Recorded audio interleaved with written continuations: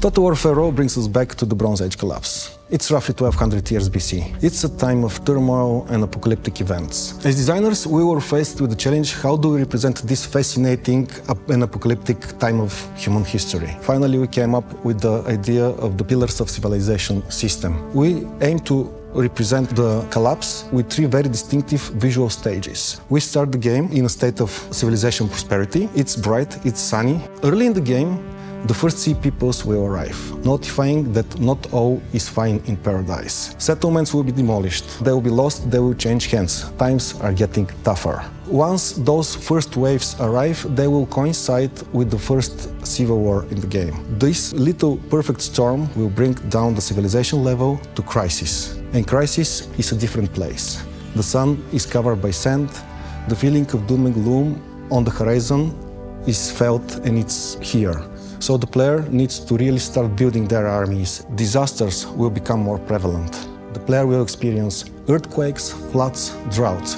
They will cover enormous parts of the land. So the player will be in the mode of survival. The further we go down the line, the stronger the sea people become.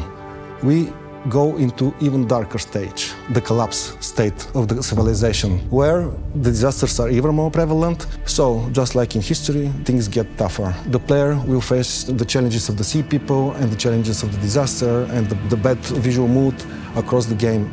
They will need to prepare, they will need to grow their armies, and they need to be resilient in order to survive.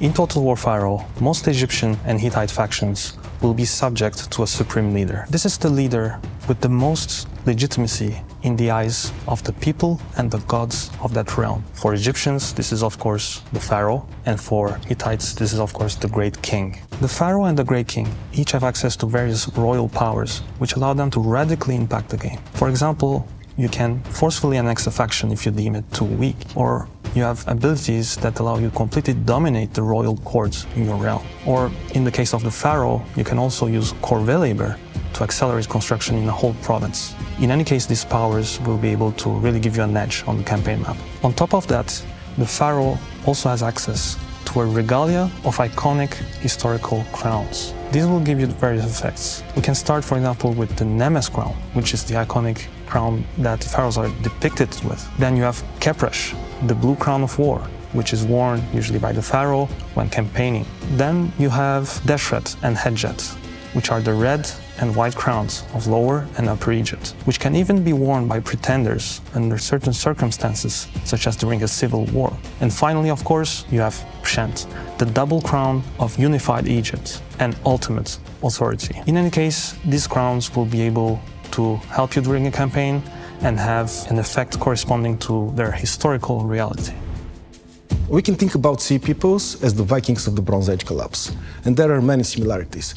They were tough, strong, and probably cool, but not for the people in Egypt, because they disrupted their normal way of life. They start appearing early in the game with small waves of armies showing around the coasts, letting the player know that something is wrong out there in the sea. The player needs to be prepared in order to face this ever-growing menace. Late in the game, the player will face the biggest and toughest wave of sea peoples. And they should be the make or break moment for the player.